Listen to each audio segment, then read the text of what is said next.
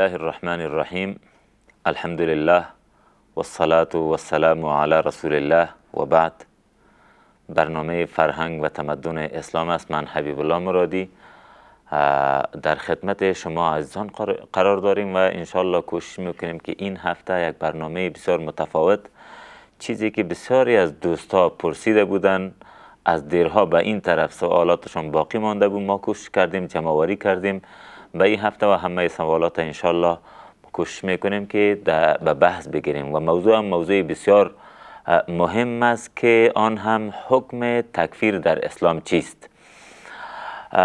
پدیده تکفیر که بیشترین ضرری که در جهان اسلام از این طریق وارد شده و یا می شود واقعا همه, همه ما می دانیم که چطور در بین مسلمانان اختلافات به وجود آمد و سبب شد که آنها را به جنگ و خونریزی وا بدارد. بنان همه می‌پرسند که چرا مسلمانان علیه یکدیگر فتوای کفر می‌دهند و چه سبب شده که این مسلمانان علیه یکدیگر میتازند. بنان من فکر می‌کنم که معمولا گروه های تکفیری به سه دسته تقسیم شده که اولین گروه کسانی هستند که باور و عقیده به این دارند که هر کس اگر گناه کبیره را مرتکب می‌شد بلا فاصله از اسلام خارج میشه و فتوای کفر بالای اینها صادر می‌کنن. گروه دومی کسانی هستند که میگن نه به محض ارتکاب گناه کبیره انسان کافر نمی‌شد بل بر اصرار بالای گناه کبیره انسان کافر می شود و از اسلام خارج می شود که ما می‌تونیم میگه فتوای کفر بالای از صادر بکنیم. و گروه سیومی هم کسایی هستند که میگن بسیاری از مسلمانانی که امروز ما و شما مشاهده می‌کنیم و می‌بینیم در حقیقت اینها مسلمان نیستن و خود مسلمان می‌گویند به خاطر از که زمانی که یکی از عمل کردن به فرایز اینها ترک می‌کنند به نزد از این گروه از اسلام خارج می شود او انسان. و اکثریت گروه هایی که امروز ما ببینیم به همین موضوع به همین سه گروه مطابقت می‌کنه. بنان ما وقتی که می‌بینیم هر گروه دلایلی را به خود پیدا کرده و دلایل متوسل می‌شوند که امو برحق بودن خود جلوه بدهند و انشالله ما کش می‌کنیم که در این برنامه ای را بپرسیم که آیا فتوا دادن کفر بالای یک مسلمانی که معترف به عقاید اسلامی هست ولی اشتباهات کوچک و یا خطاهای کوچک و یا در اجتهادی را که می‌کنه در او خطا می‌کنه آیا میشه که بالای از او ما فتوای کفر صادر بکنیم یا نه؟ در این برنامه انشالله با جناب مفتی عبدالله عبدالله آگاه مسائل اسلامی بحث بیشتر و بحث بسیار خوبی می داشته باشیم. جناب مفتی صاحب به برنامه خوش آمدید. بسیار تشکر جناب مرادی صاحب. توضیحاتی را که من در ارتباط به امی گروه تکفیر و تکفیری دادم و موضوع بیان کردم که حکم تکفیر در اسلام چیست. چطور یک انسان می‌تونه که بالای مسلمان دیگری فتوای کفر صادر بکنه؟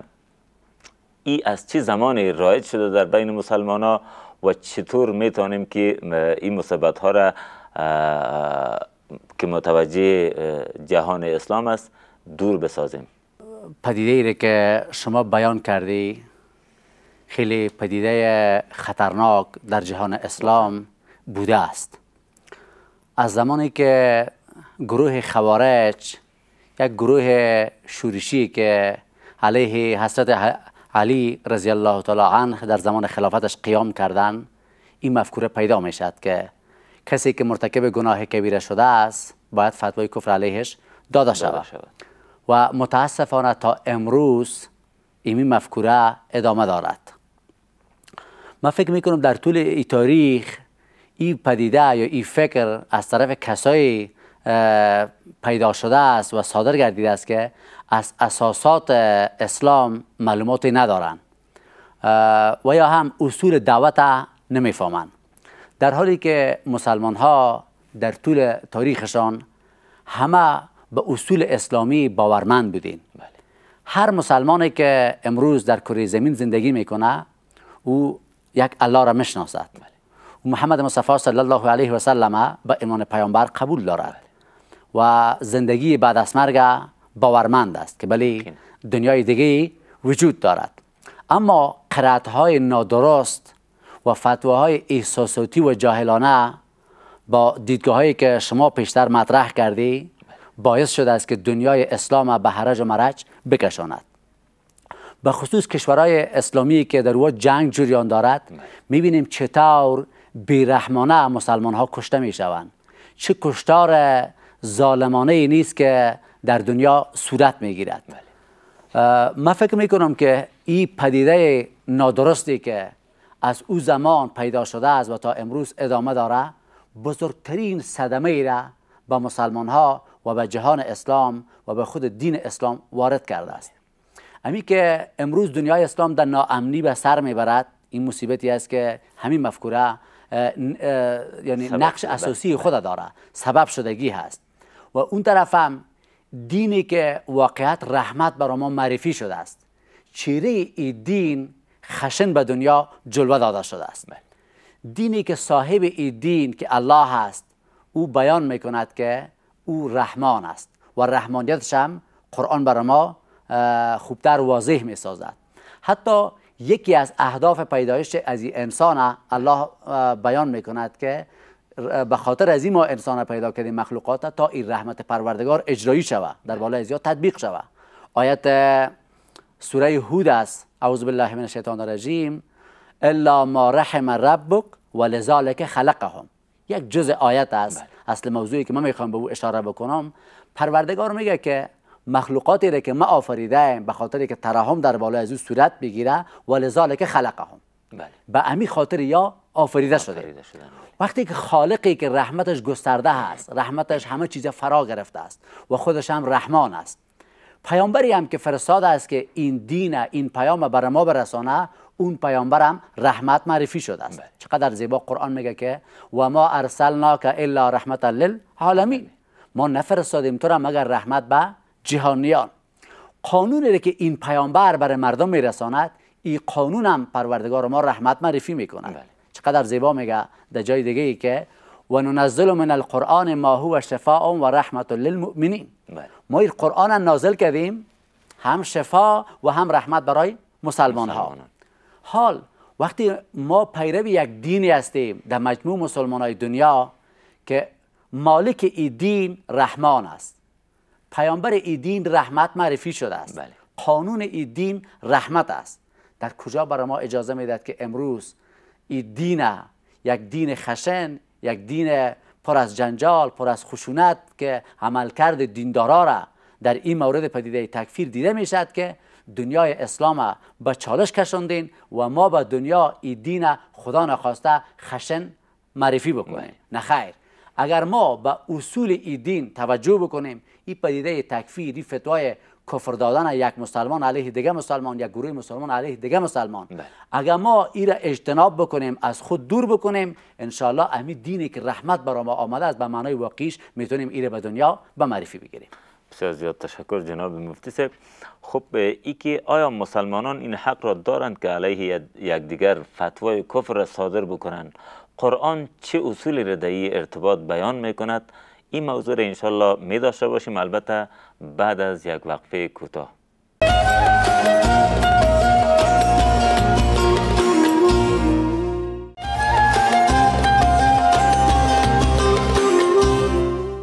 باز هم برگشتیم بیننده های نهایت عزیز. کسایی که جدیدن با ما پیوستن در ارتباط به حکم تکفیر در اسلام صحبت می کردیم و صحبت را هم جناب مفتی صاحب داشتن. سوال ما قبل از وقفه همی بود که اصول قرآن در تکفیر و یا موضوعاتی را که امروز ما مشاهده می‌کنیم چی هست؟ قرآن کریم آیاتی را که بیان می‌کند به هیچ وجه به یک مسلمان اجازه نمیده بله. کس دیگه ای که خدا مسلمان معرفی می‌کند اه، اون کافر بداند بله. فتوای کفر علیه از او صادر بکند آیت شماره 94 سوره نساء هست اعوذ بالله من الشیطان الرجیم یا ایها الذین آمنوا اذا ضربتم فی سبیل الله فتبینوا بله. ولا تقولوا لمن القى الیکم السلام لست مؤمنا یا پروردگار دستور میده که ای کسایی که ایمان آورده وقتی شما سفر می‌کنید در روی زمین به خاطر جهاد در شناخت مسلمان و کافر باید تحقیق بکنید بله. ولی اون کسی که خودم مس- به شما سلام میده یا خودم مسلمان معرفی می‌کنه شما برش نگویی که مسلمان نیست. نیستی شان نزول آیت بیان بکنیم خوبتر مطلب فهمیده می شود مهربانی. روایت را امام بخاری امام ترمیزی مسند احمد به ارتباط شان ورود آیت نقل می کند که تعدادی از صحابه کرام در یک منطقه رفتن بله. در اون منطقه یک شخصی آمد بر ازیا السلام علیکم پرتاب کرد. بله. در او زمان کلمه السلام علیکم کسی که میگو به عنوان مسلمان شناخته می‌شد. بله. یا نشانه یک مسلمانی بود که سلام به زبان بیاره. بله. امی لفظ سلام اون شخص به زبان آورد.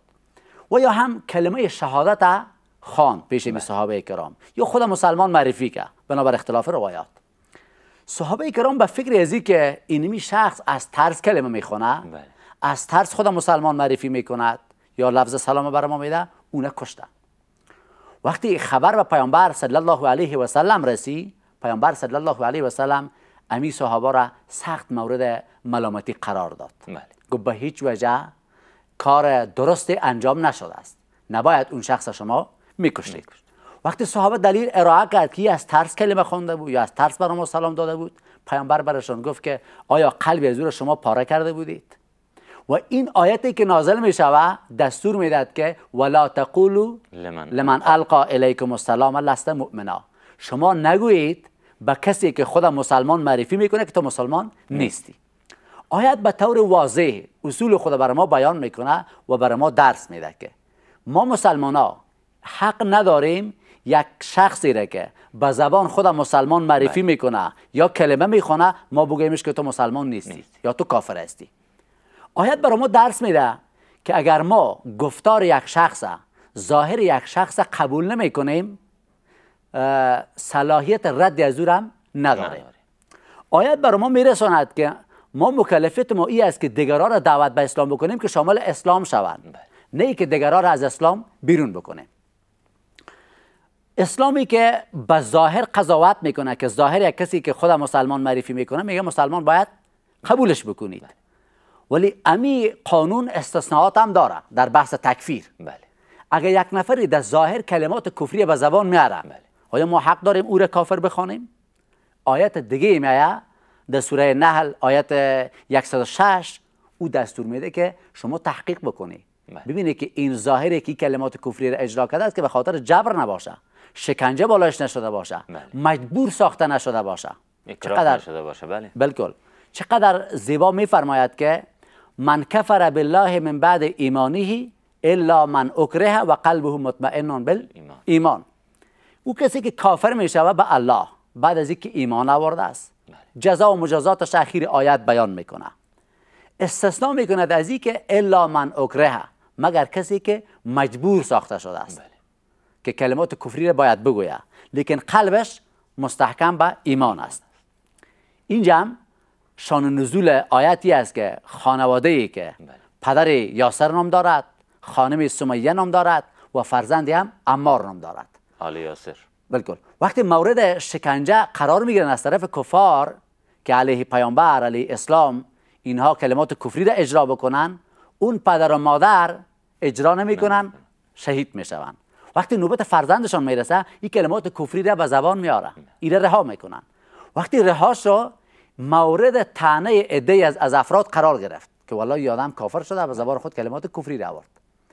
گریان کنان پیش پیامبر صلی الله علیه و سلم آمد. وقتی اعمار آمد پیش پیامبر زنوزه پیامبر صلی الله علیه و سلم دست نوازش در بالایش گذاشت. گفت چه شده از عمار؟ گفت یا رسول الله اینی جریان مرا فشار دادن مرا شکنجه کردن ما کلمات کفری را گفتیم حالا مردم مرا طعنه میده که تو و کافر شدی. هم شهید شده. بالکل پیامبر صلی الله علیه و سلم برش گفت که عمار اگر بار دوم هم مورد شکنجه قرار می‌گیری این کلمات اجرا کن به خاطر خلاصی جانت به خاطر نجات جانت. و این آیتی را که من خوندم بیان می‌کند که الا من اکره مگر کسی که مجبور ساخته می شود این آیات نشان میده جناب مرادی صاحب که در بحث تکفیر خیلی باید دقت بکنیم. هیچ مسلمانی حق نداره کسی را کافر خطاب بکنه بله. کافر بداند. اون مسلمانی که کلمه شهادت به زبان میاره. اون مسلمانی که به اصول اسلامی معترف است امی از اصول قرآن اگر مسلمان ها این اصول رعایت بکنن پابند به دو آیتی که من نقل بله. کردم خدا پابند بسازیم اون مشکلاتی که در آغاز صحبت ما تو مطرح کردیم بله. انشالله او کاهش پیدا می‌کنه خب اگر کسی این اصول قرآنی را مرایت نکرد و مبادرت ورزید به تکفیر یک مسلمان چه عاقبت ای را انتظار می داشته بحثی که امام بخاری دنبال می کند حدیث را در این مورد نقل بله. حدیث متفق علیه است پیامبر صلی الله علیه و سلم میفرماید یک انسان مسلمان که به برادر خود کافر میگه بله. فتوای کفر میده میگه اینجا اینمی کفر بله. یک حالتی قرار می‌گیره که اگر اون شخص طرف مقابل موجب کفر نباشه. کفر در بالای صادق نشوه امی کفر برگشت می‌کنه به گفتگرش این حدیثی که هر دو کتاب صحیح به اتفاق نقل می‌کنه همه انسان ها را هشدار میده بله. به هیچ مفتی اجازه نمی‌داد که یک انسان مسلمان فتوای کفر علیه از او صادر بکند. بله. چرا؟ موضوع خیلی جدی است. موضوع خیلی خطرناک است. خود گوینده ای که خود به اصطلاح امروز خود مفتی که میخوایی فتوا را صادر بکنه یا هر شخص دیگه که باشه متوجه باشه که اگر جانب مقابل کفر بر رضا و رغبت خود قبول نکرده باشه و او را اعتراف صریح نداشته باشه. یعنی موانع تکفیر از سر را برداشته نشده باشه. شخصی که علیه یک انسان مسلمان فتوای بله. کفر میده این کفر برگشت می‌کنه به خودش. انسان تهدید می‌کنه که باید از این پدیده ما اجتناب بکنیم. خب با وجود این خطر اگر مشخصتر بگویید که اندیشه تکفیر چیست و که چرا مسلمانان این کار را انجام میدن در حالی که همه پیرو یک قانون هستیم یک قرآن هستیم یک خدا و یک قبله و هر چیز ما یکی است چرا مسلمان به این کار مبادرت میورزن همیش من فکر می‌کنم که مسلمانایی که اگر قانون قرآن نقض بکنن بله. بیشتر بیان کردیم بله. این احادیث پیامبر صلی الله علیه و سلم نقض بکنن بله. خب همه می‌فهمیم که دنیای اسلام یا زندگی مسلمان ها را به چالش میکشونن بله. ولی انگیزشی است که دشمنی هایی از جناب مرادی سیب که اون شخص وادار می‌سازه با طرفی که دشمنی داره بله. توانش نداره که انتقام خدا بگیره دشمنی هم در سر مادیات سر موضوع دیگه میخیزد علیه از او فتوای کفر صادر می‌کند تا امو جانب مقابل زیر تهدید خود بگیرد بله. یا بیشتر مواردی را که می‌بینیم انگیزیش تعصبات است بله. انسان متعصبی که جز به دیدگاه خود احترام قائل است جز خود فهمیده و عالم فکر می‌کنه کسی به فهم دیگرا یا به علمیت دیگرا بله. ارزش نمیده. این تعصب است که وادار میسازدش که چنین فتوایی را صادر بکنه. یا فکر نادرست یا فهم نادرست از اسلام جناب مرادی بله. این همه یا اختلافات فرقی اختلافات گروهی این همه دست به دست هم میده. بله. انگیزه پیدا میشه که یک انسان بخیزه نادرست فتوای کفر صادر بکند موضوع بسیار مهم انگیزه که دست ما در طول تاریخ حکومتایی بودین که وقتی حکومت می‌گرفتین یک قدرت می‌خواستن مخالفین مخالفین خود نگذارند حکومت به از درون حکومت فتوای کفر علیه مخالفین صادر میشه و اون مخالفین هم علمایی را با خود می داشتن که علیه کسایی که در درون حکومت در درون قدرت و نظام بودین علیه از یا فتوای کفر صادر میشه بله. تاریخ اسلام که مطالعه بکنیم اینی گپا دست به دست هم داده است باعث شده است که این پدیده نادرستی که در بین مسلمان ها امروز باعث کشمکش شده است. این پدیده رایج شود. بسیار تشکر جناب مفتی صاحب از که موضوعات بسیار خوبی را ارائه کردید. انشالله دوستای عزیز یک وقفه می داشته باشیم. بعد از وقفه برمیگردیم و موضوعات دیگری را که دوستای دیگر ما از جمله امیر صخره و صدیقه پرسیده بودند از جناب مفتی صاحب می‌پرسیم.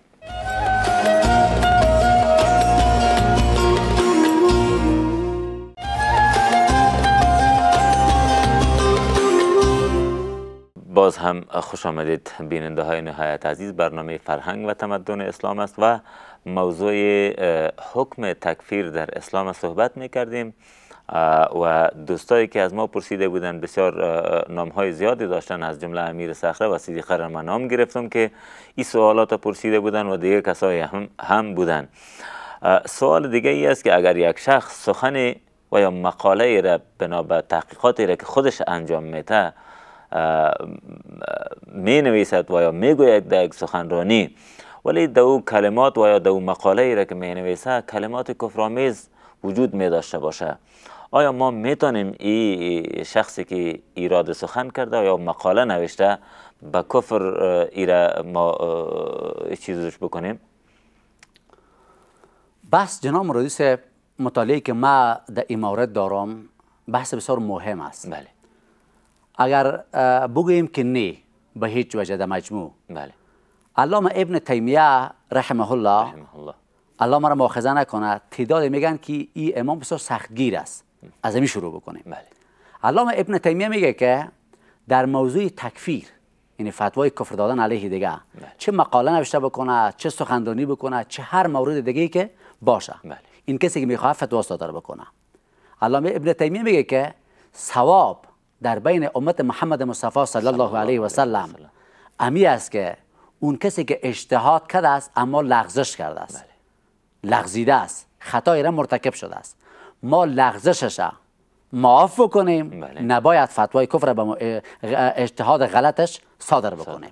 و دستور میده که به هیچ کسی چنین حق نیست که خطای اجتهادی را فتوای کفر علیهش صادر بکند. امام شوکانی رحمه الله او نوشته می کند که کسایی که به الله ایمان دارن و به روز آخرت. بله. هیچگاه مناسب نیست که علیه از یا فتوای کفر داده شود. چرا میگه وقتی احادیث پیامبر صلی الله علیه و سلم و اون اصول قرآنی را که پیشتر ما و شما ارائه کردیم بله. میگه وقتی انسان می‌بینه انسان میترساند. انسان خیلی باید احتیاط بکنه. انسان باید محتاط باشد. علامه شامی بله. رحمه الله چند فتاوا را نقل بکنیم چرا؟ خیلی موضوع مهم است. مهم علامه شامی نوشته می کند که انسانایی که خطای اجتهادی می‌کنن یا سوالی که شما مطرح کردید میگه ببینیم اسلام یک شخص یقینی هست. ای که آیا کافر شده است یا- نشده است این شک است.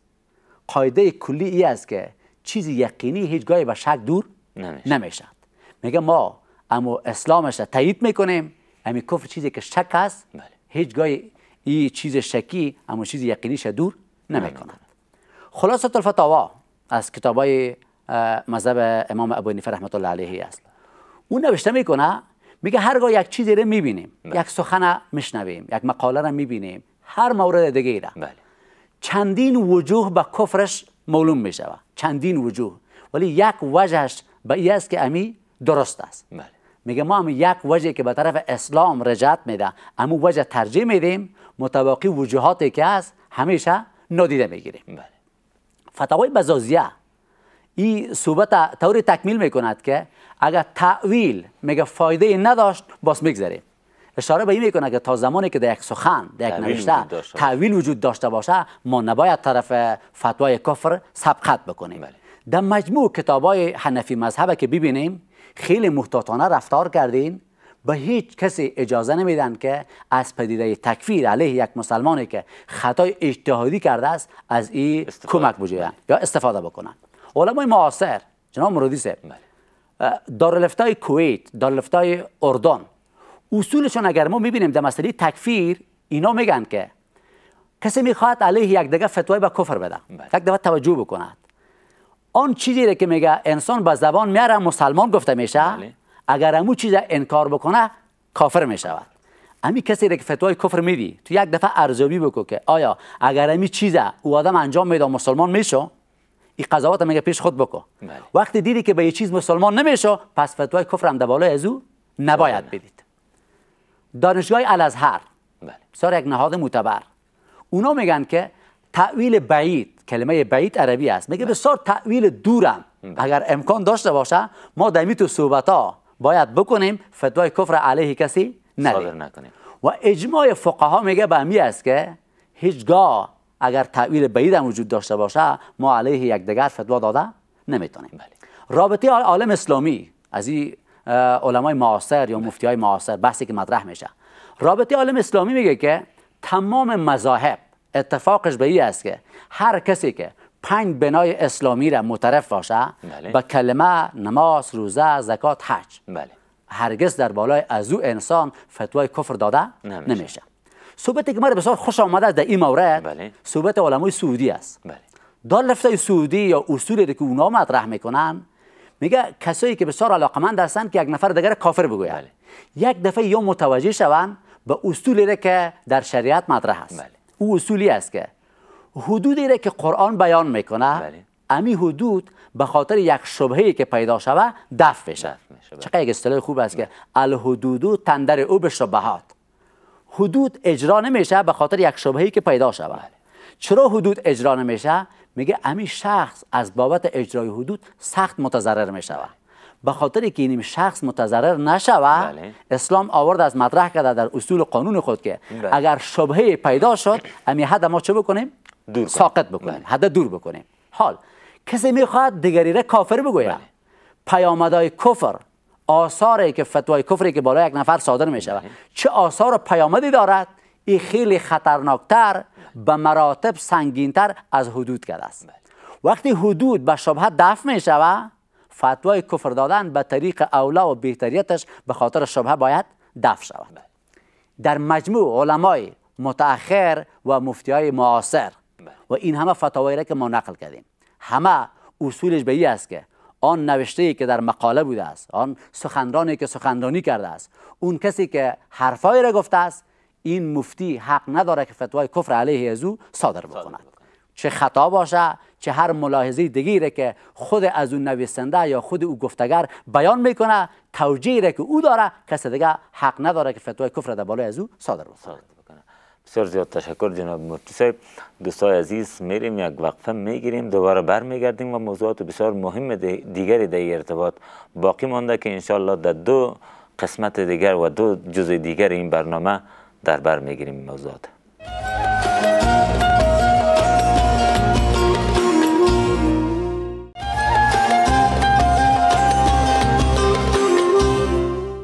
برگشتیم دوستای نهایت عزیز و موضوعاتی را که ما دنبال کرده بودیم. باز هم در ارتباط به این موضوعی را که شما بیان کردید جناب مفتی صاحب قصد کسی که سخنرانی کرده و یا قصد کسی که مقاله را نوشته در موجودیت که مثلا کلمات کفری در او دیده میشه قصد خود شخص چقدر اهمیت داره در اینجا جناب مرادی صاحب وقتی شخص گفتی بله. مرا متوجه ساخت به اصول افتا بله. که اصول دارالفتا چیست؟ تماما در دارالفتا شاید تقریبا یک بله. اصول یکسان داشته باشن. همه باورمندی به ای دارن که وقتی استفتای مطرح میشه یعنی پرسشی صورت می‌گیره در این پرسش اگر موضوع شخص بیایه که فلانی اینی کارا کرده است. بله. وقتی موضوع شخص مطرح میشه فرق می‌کنه با امو موضوعی که نوع خود قضیه که حرف شما کلمات کفری گفته شده است یا بله. موضوع دیگه پیش آمده است. بله. چقدر یک مثال زیبا می‌زنن میگه اگر سوالی آمد که آیت قرآن کریم به صراحت بیان می‌کنه یک شخصی که دیگری را بکشه بله. جایش جهنم است. یک آیت قرآن کریم است به صراحت. ولی یک سوال مطرح شد بگویند که یک نام بگیریم که حالا خدا نخواسته او را ما قاتل حساب نکنیم. بله. یک نفر کس دیگری را کشته است. بله. سوال شود که آیا شخص قاتل دوزخی هست یا نه؟ بله. فتوای کفر علیهش داده میشه یا نه؟ تماما اصول دالفتا به این حکم می‌کند که مفتی حق ندارد که علیه اون شخصی که در سوال مطرح شده است جواب را ارائه بکند. چرا فرق می‌کنه؟ اتفاق علما به این است که ما بیم بگوییم که هر کسی که این کلمات کفری را به زبان برای اجرا بکنه کافر می شود بله. یه حق هر نفر است که باید این گپه بزند بله. ولی اگر در سوال نام شخص مطرح شود نام یک گروه مطرح شود بله. باز این حق مفتی یا کسی که پاسخ میده این حق ندارد این اصول دارالفتا است اگر این اصل رعایت شود که هرگاه موضوع شخص نام شخص گرفته می شود بله. نباید چنین فتوایی داده شود چرا اون شخص موجود باشد اهداف خود را تشریح بکنه تشخیص بکنه بله. کلمات عمومی گفته شود که بله این کلماتی که در سخنرانی خود گفته است این کلمات کفری هست. بله. هر کس. ولی اگر مشخص از شخص پرسان بکنه به هیچ مفتی اجازه نیست که در جواب نوشته کنه که بلی اون شخص کافر شده است. این اصول دارالفتا هست جناب مولوی خب بنا به این گفتار و یا نوشتار یک شخص که فتوای کفر بالای از صادر می شود و یا داده می شود فکر می کنم هر فرد صلاحیت دادن فتوا را نداشته باشد باید یک مرجع مشخص و یا در لفتای باشد که صاحب صلاحیت باشد در دادن تکفیر یا یک فتوای کفر یک انسان یا کی طور نیست جناب مروچه به حرف شما کاملا دقیق بله. در هر مسئله در هر موضوع بله. باید یک مرجع مشخص اون افرادی که شایستگی و لیاقت دارالفتا و مفتی شدن داشته باشه بله. اونها باید فتوا بدن, بدن. بله. اما در موضوع تکفیر همین موضوع مطرح نیست خواه. من یک رساله را مطالعه کردم از دکتر محمد عماره او از استاد خود که شیخ محمد عبدو هست یک مسئله را بسیار نقل می‌کنه بسیار من خوشم اومد میگه اینمی صلاحیت در قضیه تکفیر نه به مفتی است نه به شیخ است نه به قاضی است هیچگاه میگه پروردگار صلاحیت تفتیش عقاید به کسی نداده است. تا ما بریم از دل از او با خبر شویم آگاه شویم که بلی در دلش که منبع کفر ایمان است آیا کفر وجود داره یا نه؟ چون ما این اطلاعات نداریم این صلاحیت هم میگه ما نداریم. بله. او دکتر مرحوم نقل می‌کنه میگه اصولی که اسلام برای ما وظیفه داده است چه به قاضی است چه به مفتی است چه به شیخ است چه به هر مسلمان دیگه است او دعوت به طرف خیر است. ما دیگران را دعوت به طرف بله. خیر بکنه. هیچگاه صلاحیت تفتیش عقاید برای ما داده نشده است. وقتی این صلاحیت برای ما داده نشده است ما صلاحیت صدور چینی فتوا را علیه یک شخص نه. هیچ کسی ندارد. بله. خب پیامدها و آثار تکفیر خیلی خطرناک است من فکر می‌کنم. می شود اشاراتی به پیامدهایی که می‌تواند یعنی احتمال از دارد که بعد از تکفیر کردن یک شخص بالای شخص وارد شود و یک بالای جامعه بیاید چه پیامدهای منفی می‌تونه داشته باشن؟ جناب مولوی صاحب این همه موارد بحثی که ما شما کردیم. بله. به خاطر اینمی آثار خطرناک است که هیچ عالمی هیچ بله. مفتی این فتوا را داده نمی‌تونه. نمی‌تونه. جرأتش هم نداره صلاحیتش هم نداره. بله. و یه حق هم برش داده نشده است. به خاطر چه؟ آثار که بالای شخصی که فتوای کفر برش داده میشه بله. این آثارش آنقدر خطرناک و سنگین است که هیچ کسی باز توانی از او داده نمی‌تونه. کسی که کافر می‌گوین اون کافر دیگه بحثشی است که باید خانمش از او جدا شود. بله. چرا خود نکای خانمی که مسلمانه است با شوهری که کافر است این نکاح جواز ندارد. اولادش باید از پیشش گرفته شود. که حال کفر به اولاد سرایت نکنه. بله. او یک اداره دیگه باید بگیره تربیه بکند. اون طرف بحثی است که اگر بمره مسائل اسلامی دیگه که از مراسم جنازه است یا موارد دیگه است این در بالش اجرا نمی شود. می‌بینیم خیلی خطرناک است. محکمه باید استهزارش بکنه جناب مرادیسه از این استجواب بکنه و اون شبهاتی که داره دفع بکند این آثار خطرناکه که می‌بینیم آدم متوجه می‌سازه که هیچ کسی در جهان اسلام جرأت ندارد که علیه یک شخص دیگه فتوا بده. چرا این فتوا منجر به اینی آثار می شود بله. و اون طرف منجر به جنگ و خونریزی و کشتار می آثار هم آثاری هم هست که آثار بسیار خطرناک و انسان به او قسم مشکلات روبرو می سازه واقعا. خب به خاطر از که ما یک نفر تکفیر نکنیم آیا شریعت اسلام کدام معیاری را سنجیده تعیین کرده که اینمی معیار است و از این معیار باید گذشت نشود؟ امام بخاری رحمت الله علیه حدیثی را که نقل می‌کنه بلی بله. این معیار مشخص می‌کند حضرت انس رضی الله تعالی عنه میفرماید که پیامبر صلی الله علیه و سلم بر ما بیان کرد که هر انسانی که نماز می‌خونه مانند نماز ما بله. و به طرف قبله رخ می‌کند بله. ذبیحه ما را می‌خورد بله. چیزی که ما حلال کردیم اون مسلمان است اون در امان خدا و پیامبرش است خونی از او مال از او تماما چیزی از او محترم است باید حفظ شود. ولی دیگه طرف وقتی که کلمات کفری را استفاده می‌کنه دانسته و یا نادانسته چون اسلام به ظاهر گفتین شما حکم می‌کند. این موضوع را چطور ربط بدیم با ای, ای که این نماز می‌خونه از زبیه مسلمان ها را می‌خوره و این موضوعات. بلکل. ما بگیم کسی که اهل قبله بود بله. ما صلاحیت فتوا را علیه او نداریم که. بگوییم که کافر شده است. بله. ولی اون کلمات کفری اگر اجرا می شود به طور عموم بگوییم که این کلمات کلمات کفری است. بله. اگر کسی اجرا بکنه این عمل عمل کرد عمل کفری هست اما وقتی خود شخص بعد میشه در سوال ما بحثی که پیشتر داشتیم. به هیچ وجه برای ما اجازه نیست جواز نداره یک کسی که اهل قبله است که ما علیه از او فتوای کفر بدیم. بسیار زیاد تشکر جناب مفتی صاحب. دوستای عزیز باز هم ناگزیر بریم یک وقفه می‌گیریم. بعد از وقفه برمیگردیم و موضوعات بسیار مهم دیگر در جزء اخیر باقی مانده. انشالله مطرح می‌کنیم.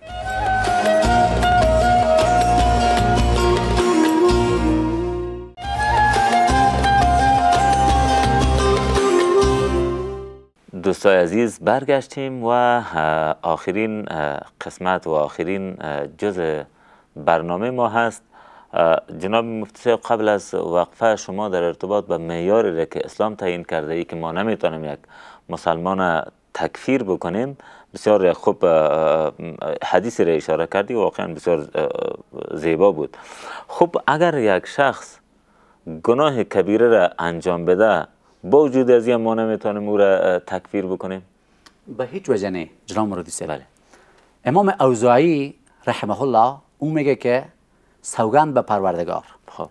اگر ما پاره پاره شوم ما جرأت به خود نمیدم. کسی که اهل شهادتین است. بله. کلمه شهادت می‌خوانه ما فتوای کفر علیه از او صادر بکنم. اگرچه امی گناه کبیره را اصرار می‌کنه به ارتکابش. بله اگر کسی گناه کبیره را انجام میده بله.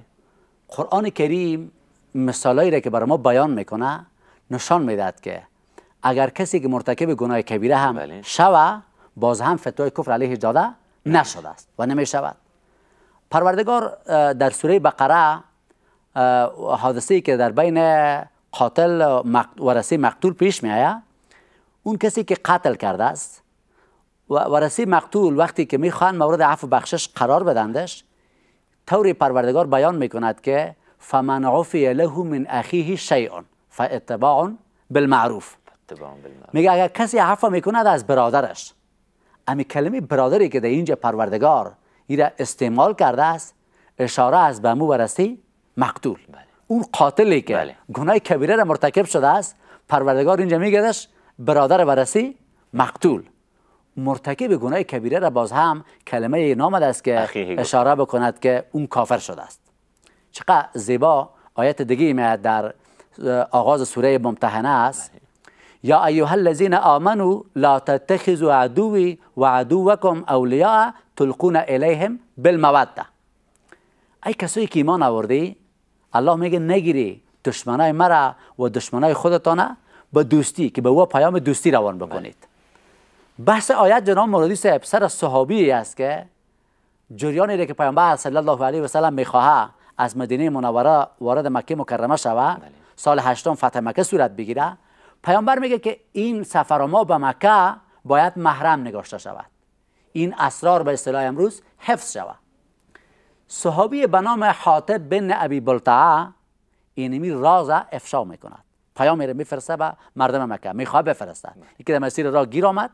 جریان دیگه ای است که سیرت نویسا و احادیث پیامبر صلی الله علیه و را بیان می‌کند. در واقع عملکرد امی صحابی به اصطلاح امروز جاسوسی بود یا خیانت بود. با وجودی که گناه کبیره را اصطلاحی را که شما به کار بردی امی مرتکب شده بود. قرآن کریم برش میگه که یا ایها الذین آمنو ای کسانی که ایمان آوردی نگیرید دشمن مرا و دشمن خودتان دوست که به او پیام دوستی بفرستید. اینجا پروردگار او را از ایمان خارج نمی کند و پیامبر صلی الله علیه و سلم هم چیزی در قبال از او نگفت که این شخص کافر شده است. خود میرساند که گناه کبیره ارتکابش انسان به سرد کفر نمیکشاند. فتاوای دیگه را نقل بکنم میم در سر اصرارش فتاوای شومی. فتاوای شومی نوشته می‌کند که یک گروهی اگر صحابه را بنابر اجتهاد خود نفرین می‌کند. میگه اجماع فقهایی است که اونمو گروه را که امی گناه را مرتکب شدین ما صلاحیت فتوای کفر را در بالای زوا نداره. نداره این احادیث پیامبر صلی الله علیه و سلم که حاطب بن ابی بلتعه را بیان کردیم آیات قرآن کریم و این فتاوا و نهادهای معتبر دیگه که در امروز وجود داره پانتون الازهر و دلوم دیوبند امی اصول پیروی می‌کنن که کسی که مرتکب گناه کبیره شده است ما فتوای کفر علیه از او داده نمی‌تونیم. بحث کفر بحث عقیدتی است. بله. اگر در قلب خود بر رضا و رغبت اون مواردی که حرام است او را حلال بداند بر رضا و رغبت کفر را اختیار بکنه او را صراحتا اعلان بکنه او زمانی است که باز گفته میشه که این آدم کافر شده است. در غیر از او توجیه یا عذری که پیشش موجود باشه و بیان بکنه هیچ کسی حق نداره علیه از او فتوای کفر کنه. تشکر. راهکار به خاطر کاهش و جلوگیری از این مفکوره که رواج پیدا کرده امروزه در جهان اسلام چه راهکارهایی وجود داره که مسلمان ها او را مد نظر بگیره و از تکفیر کردن مسلمان برادر خود دوری بجوین و این مبادرت نورزن به بسیار سرعت. اول خو همه باید متوجه شوند در دنیای اسلام که مسلمان ها برادر یک دیگر هستند. بله. توجه به مشترکات بکنن چیزایی که همه ما به او باورمند هستیم. امی اصول دینه که معرفی می‌کنیم سیدانه توحید رسالت و معاد. بله. زندگی بعد از مرگ. همه باور داریم. پنج بنای اسلام همه مسلمان ها معتقد هستند. به طرف قبله همه نماز می‌خواند. بیایم با همین مشترکات اکتفا بکنیم یک دیگر خدا برادر بگوییم. بله. رساله ای که ما مطالعه کردم او یک راهکار خوبی دیگه را ارائه کرده است. بله. دکتر محمد عماره بهترین نویسنده مصری. مرحوم. او نوشته می کند که بیم این فکر بکنیم یک فتوای عمومی همه مذاهب اسلامی صادر بکنه امروز. بله. دنیایی که عصر میدیا نام دارد. فتوای خود صادر بکنه که ما اهل قبله را کافر نمی‌گوییم. همه ما مسلمان هستیم. بله. با این فتوایی که تکثیر شوه در دنیا مسلمان ها می‌تونن با این پدیده مبارزه بکنن. و اون طرف یک تعداد جوانایی که قلم به دست هستن بله. اونو کتابایی را ببینن که باعث شده از اون افکار نقل شده است که یک گروه دیگه فتوای کفر داده است. بله. بیم به تصحیح از اون کتابا بپردازیم. کتابایی که در سابق نوشته شده است شاید مطالب نادرستی باشه که جانب مقابل یک فرقی مقابل یا مذهب مقابل اون دیده فتوای کفر اون طرف صادر بکنه. بیان جوانای اون طرف میگه قلم به دست بگیرن امو کتابای گذشته خودنا اصلاح بکنن. با این مفکورها بهترین راهکار است. و سی ثانیه پیام شما در ارتباط به این که یک مسلمان نباید بدون دقت یک مسلمان دیگر تکفیر بکنه چی است؟ من فکر می‌کنم که به طور مجموع اگر می‌خواهیم که رحمت پروردگار شامل حال ما شود. بله. برادرگونه در کره زمین زندگی بکنیم. بله. با این همه چالشایی که کشتار مسلمان ها در کره زمین است با این نه بگوییم بله. با این اختلافات نه بگوییم لازم است که بیم فکر خدا اصلاح بسازیم هیچگاه به خود این جرأت ندیم که بله. علیه یک مسلمان علیه یک گروه اسلامی بله. علیه یک برادر خود فتوای کفر صادر بکنیم انشاءالله او زندگی را که ما خواهانش هستیم و این دین ما برای ما او را تنظیم کرده است ما به او می‌رسیم بسیار زیاد تشکر جناب مفتی صاحب از که به سوالاتی را که دوستای ما فرستاده بودن و از دیرها به این طرف ای پیش ما بود و بالاخره امروز ما امور کلش یک جا کردیم منسجم کردیم و از شما پرسیدیم و شما هم جوابای بسیار قناعت بخشی را ارائه کردید. ممنونتان. بسیار تشکر جناب مرادی شما. دوستای عزیز واقعا اسلام جهان اسلام یکی می‌داند. پیامبر اسلام صلی الله علیه و سلم امت مسلمه را به جسد واحد تشبیه می دهد و همچنان قرآن عظیم و شأن می فرماید که اعوذ بالله من الشیطان الرجیم انما المؤمنون اخوتون بنان هیچ شک و دی وجود نیست که ما با هم برادر هستیم. در هر جا و هر جغرافیایی که زندگی می‌کنیم و اسلام هم بسیار زیاد تاکید می‌کنه بالای از که انسان نباید بالای مسلمان و برادر خود فتوای کفر صادر بکنه. اگر 99 فیصد کلمات کفری صادر شده باشه و یک فیصد هم در وجود داشته باشه که این مسلمان باشد باز هم ما نمی‌توانیم که یک مسلمان و برادر خود تکفیر بکنیم. به همین امید به یک امید یک جامعه مرفه و اسلامی شما را به خداوند یکتا و یگانه میسپاریم خداوند یار و نگهدار همه ما.